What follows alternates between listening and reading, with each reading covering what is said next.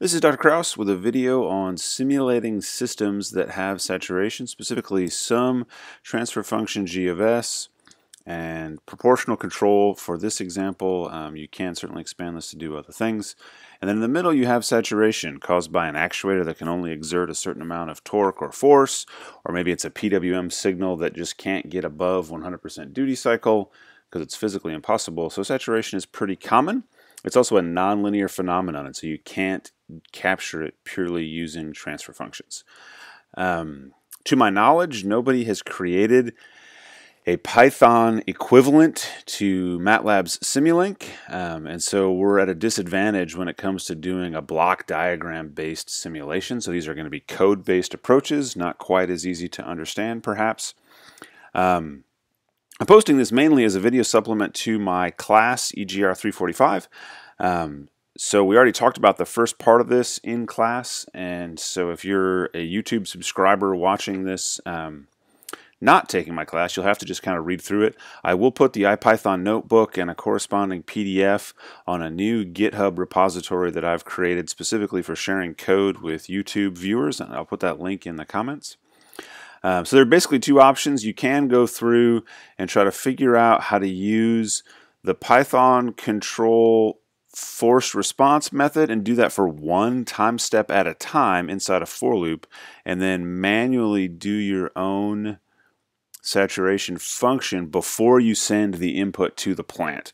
So this is um, basically this is the summing junction calculating the error this is the G sub C controller that's just proportional control. And then this is the saturation block. And then um, I'm saving the output just to use it uh, to plot later. And then this is simulating the plant for one time step. And the key thing here is that to do this with each time step, we got to make sure we have the right initial conditions for our states and that will come from the previous time steps ending conditions. And so that's what's going on here. We're extracting the output from the current time step, and then we're saving the states from this time step to use the next time. So we're setting xprev here, and the next time through the for loop, xprev will be the initial conditions. So we talked about that in class. Have a look at this code if you're curious. And we showed the red one is the with saturation, the green one is without, and this teal line is the voltage or PWM signal, but including the positive and negative 255 saturation. Uh, that was a random explanation in class. Um, and that's cool and it works. It's maybe a little complicated and intimidating, uh, but if your system has a pure integrator, this actually takes, I don't know, 20, 30, 40 seconds to simulate, which nowadays seems like a really long time because we're spoiled with the power of our computers.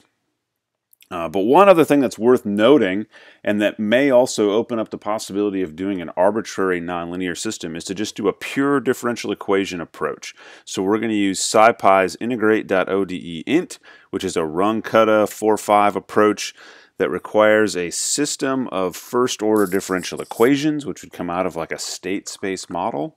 Um, and so if we have this transfer function, like so with its pure integrator. This is a DC motor position over voltage or position over PWM, eh, position over voltage. Um, if I were to multiply both sides through by s squared plus ps, I would get theta times s squared, which is really theta double dot, and then ps times theta, which is p times theta dot. And then on the other hand, I would get v times just gp. So this is my differential equation model. I could then define two states, theta and theta dot. And in order to use integrate.odeint, I need their derivatives. So x1 dot would just be theta dot, which is just x2.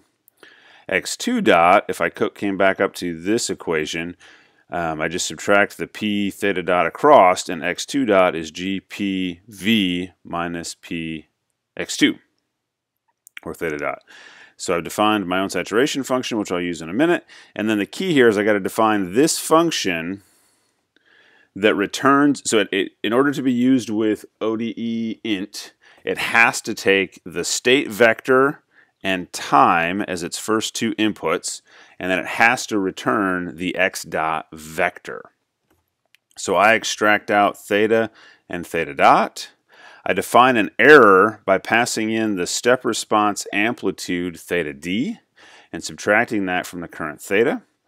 I I then calculate the PWM voltage by just taking my proportional control constant times error. And then there's this optional argument to show the effect of having saturation, not having saturation. And so if use sat is on, then I saturate my voltage. And then I return x2 or theta dot and g times p times v minus p times theta dot, which is exactly what we solved for here. Um, then I do the integration twice. So I, I call ODE int, I pass it in that function, I pass it in my initial conditions, my time, and then the optional arguments, which are kp, not, these first two I guess aren't optional, kp, theta d, and then the optional argument of whether or not to use the saturation. And I haven't re-executed, okay, but you can see that that's how long it takes to do the integration, which is less than a second. And then I plot those two, and so this blue line with a lot of overshoot and whatnot, but a really fast rise time is without saturation. So the input here is really, really large initially. And then this green line, which a much with a much less attractive rise time and this kind of constant velocity region in here, is with saturation.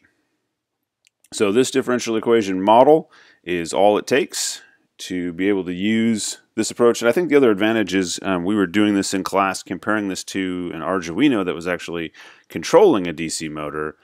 This should look pretty similar to some of the things we did code-wise there's a pretty decent one-to-one -one correspondence here between the Python simulation and the Arduino code to run the experiment. Hopefully that's helpful. Let me know if you have questions.